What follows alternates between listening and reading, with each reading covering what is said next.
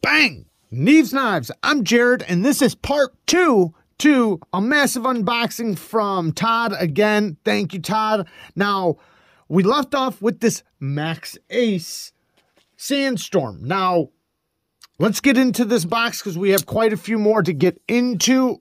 But just so you know, I linked, if you haven't seen part one, I'll, I'll link it down in the description.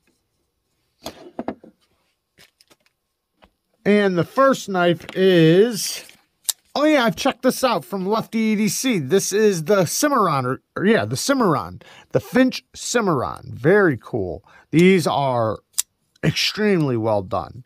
My favorite Finch knife is the Harvester. I think it's just such a great work knife.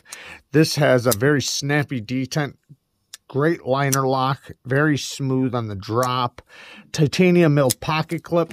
The G10 is knocked down or polished, I guess you could say. It's polished and very smooth. And yeah, I think QSP is doing these for Finch. Next, this right there. Next, we have the Kershaw Parsec. Never seen this one. I like this uh, beat up almost um, like it was picked up from like a city that was like just destroyed or something, or maybe from like a mechanic floor, you know, like from a mechanic shop. Oh, that was snappy. Is that assisted? It's not assisted. Wow. Wow. This detent is very snappy. Do you hear that? Listen to this detent. Nice and snappy. Was not expecting that. It's very slim. It's not going to be super comfortable, but it's not uncomfortable. It's just not going to give you the type of ergos required for heavy use. But for basic EDC stuff, I love this blade shape. Such a good blade shape. Kind of like the the bare knuckle. Very similar to the bare knuckle, where utility cuts are going to be extremely good. You'll be able to go around boxes and cut open things. Access to the lock bar is really good. Not drop shutty, but it's not assisted, so it's easy to get back into the frame without, you know, any resistance. This almost looks like a bottle opener back here. I don't think that's what it is. If it is, I don't think it be too effective. Maybe, I don't know. Surprised they chose this clip, but very cool, man. Very, very cool. That deep man, I don't know why Kershaw would ever, ever do assisted knives when their detents are so good. What is this? Please keep this. Oh man, thank you. I think. oh man, thanks, Todd. A gift for your utility belt. Nick Shabazz has a similar one, but this one is better. oh man. All right. Where do I start? I guess this is the flipper tab. Oh, it's assisted. It's gotta be. Yep. Oh man, better hope that blade goes all the way. okay, super snappy. Ergos, oh man, a 10. Perfect ergos, perfect ergos. These don't bother me at all. Not at all in my. Let's do the next one. Oh, that one's a, a little slower, but that's okay. It's, uh, you know, the slower brother of the two. And oh man, the ergos like this are just, oh man, I feel like I could uh, do some pretty crazy stuff right now. oh man, this is crazy. I wonder if somebody actually uses this. Can you imagine? I mean, I guess if I was going to realistically look at it, I mean, it could open things up pretty good. We got a, is that a, that's not a hollow, is it? It is a hollow. we have a double recurved hollow grind, uh, cliff blade, Check out the other one. See if it's consistent. We uh the tips are pretty rounded, but that just means Todd's been using it. you know, one of his faves. Uh, we got a double bottle opener next to the bat wings. Um, yeah, this is pretty cool. Todd, thank you, man. Thank you. I can't wait to put this in my pocket, man. It looks like it'd be very comfortable. The clip looks like it'll work great. oh, thanks, Todd. All right, next we have the Buck Paradigm. Slide bolster to unlock. Okay. Okay, so you gotta oh okay. I, I actually um seen videos on this. So you gotta pop this over, then flip it. USA made S35 VN blade steel.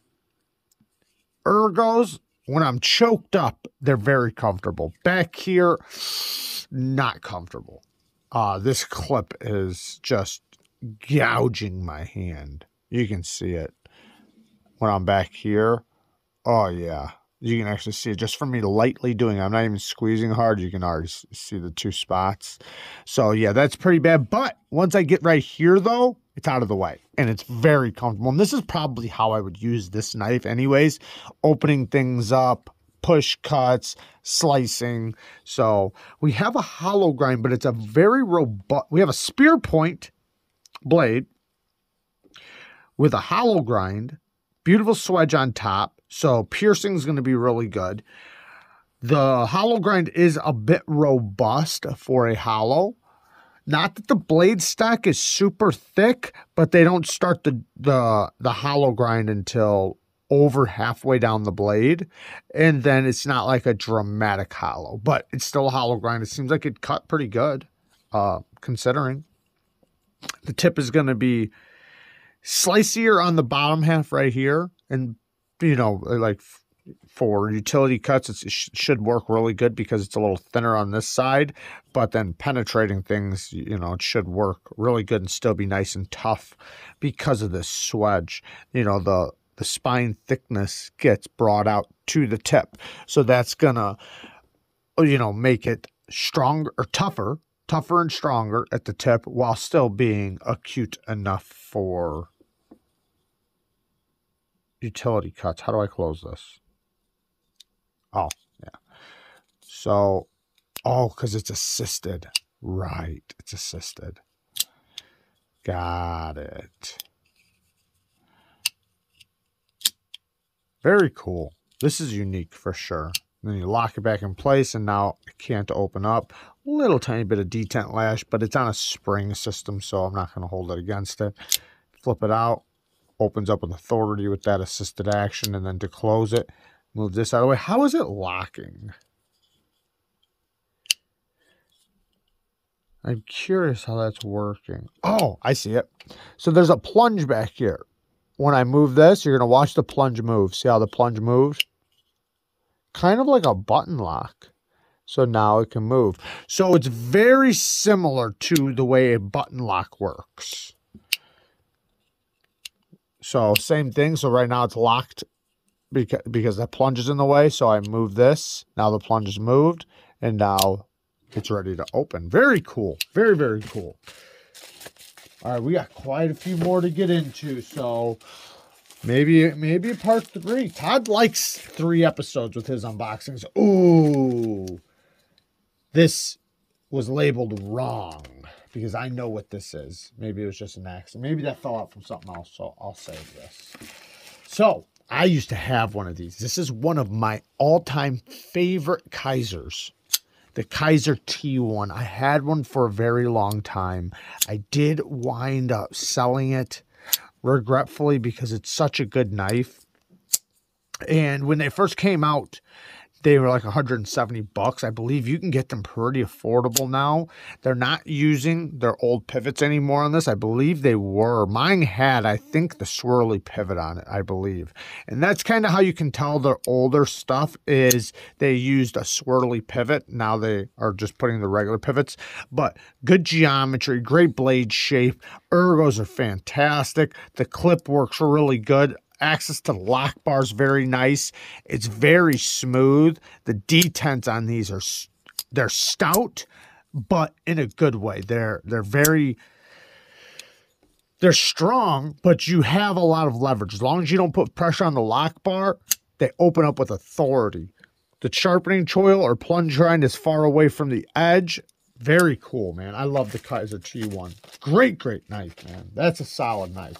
Like I said, one of my favorite Kizers, especially from their older models. Oh, I've never tried this.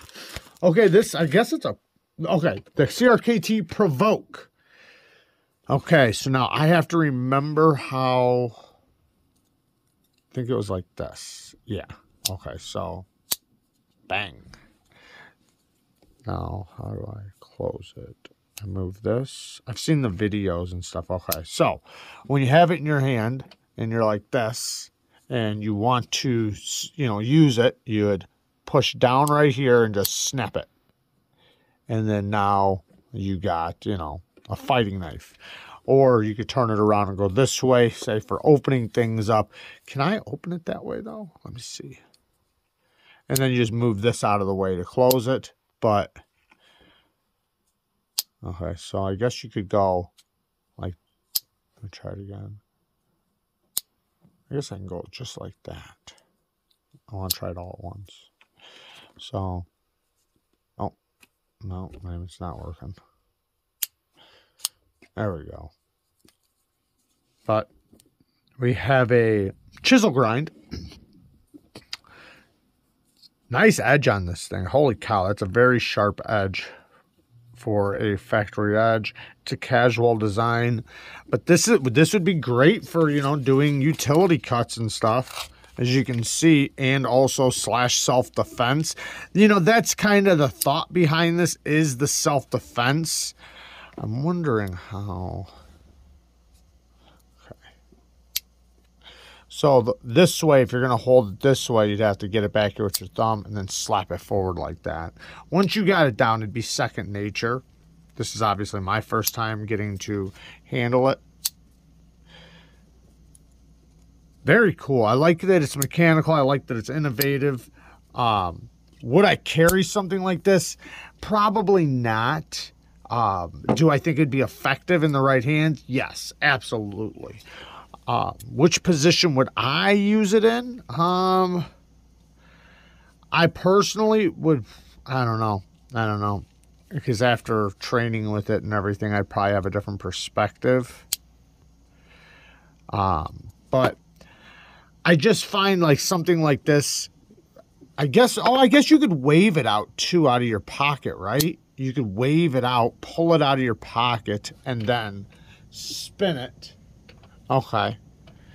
So if I got that down pat, I wonder what grip I'd probably go. Let me see here really quick. It opens up, yank it out of my pocket. I'd probably want to go. I'm spending too much time on this, guys. I'm sorry. Too much time on this. Let me get to the next one. All right, the next one is a twofold. We have the CRKT BT Fighter. This is a button lock. Um, I think we have the small one in here too. Yeah, I actually used to have this one. Very cool. These, uh, or, no, wait. I reviewed this one, I think. Did I? I owned one too at one point. I don't remember which one. Um. Anyways, but I did have one. I just don't remember which one it was. This is very comfortable compared to this. I remember this one. This is the most uncomfortable knife ever because of all of this. Like when it's in your hand, like just a small squeeze. Yeah. This, on the other hand, is nice. I mean, I feel this right here, but not bad. Not bad at all. And a little bit of blade rock. Very smooth on the drop. Very snappy. These things are very fun to fidget with. The, the button lock and detent are done very, very well on them, especially that large one. Oh, wait, this one has a little bit of a stiffer detent. Very nice. Ooh, ooh, ooh. Now I'm breaking his stuff. Very cool. Yeah, these, uh, if these were done in a more premium way, which I know they they have, you know, these in premium knives. This is like a budget version of the premium knife. But what I mean is by CRKT. If CRKT put a little more work into this, man, this could be an amazing, amazing knife. Which they might have, and I might be somebody else is probably like, dude, they already have. You're an idiot. Part three coming up. I love you guys. Thank you guys for watching. Todd, thank you, thank you again. I will link everything down in the description. So if you haven't seen part one, you can go see part one. And if you're wondering about part three, as soon as it's uploaded, you will find it down below in the description. Peace.